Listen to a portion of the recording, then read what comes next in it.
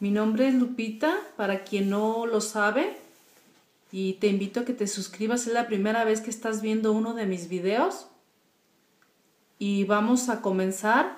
Este es un video muy especial.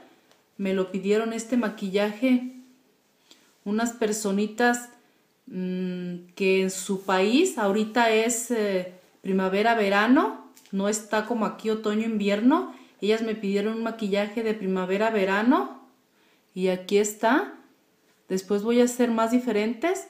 Este lo hice en tonalidades verdes para que vean si les gusta o cómo se les hace. Y también para una persona muy especial que me pidió que por favor le hiciera un maquillaje en tonalidades verdes de los ojos porque ella sus ojos son verdes. También para ella. Ahorita les voy a decir los nombres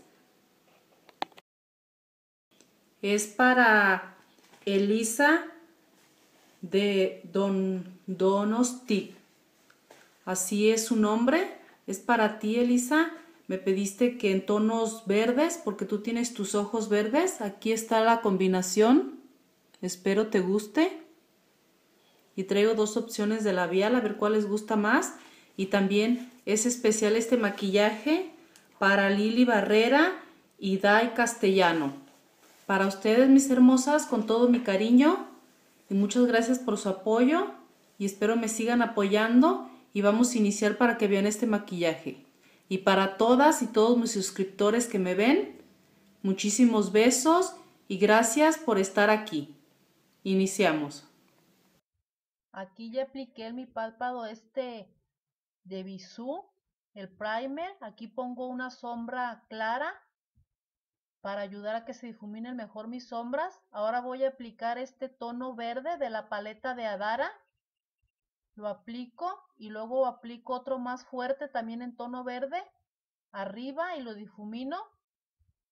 Ya lo que lo difuminé, ahora lo que voy a hacer, voy a poner un toquecito de negro en la esquinita de la V y lo difumino muy bien. Nada más es para darle un poquito de profundidad. Ahora ahí pongo este lápiz blanco, como poquito más de la mitad nada más de mi párpado móvil y ya lo aplico y ahora lo que voy a aplicar este tono verde más claro, es un color más clarito, lo aplico y pongo también en mi lagrimal para iluminarlo el mismo color y ya aplicándolo lo difumino para que no se note las líneas de entre el color más oscuro y ese. Ahora aplico arriba otra vez el tono verde un poquito más fuerte, lo difumino y ahora voy a aplicar en mi hueso de la ceja el tono vainilla y vuelvo a aplicar donde puse el negro encima pongo un poquito de verde y arriba difumino otra vez. Ahora ya voy a aplicar este delineador.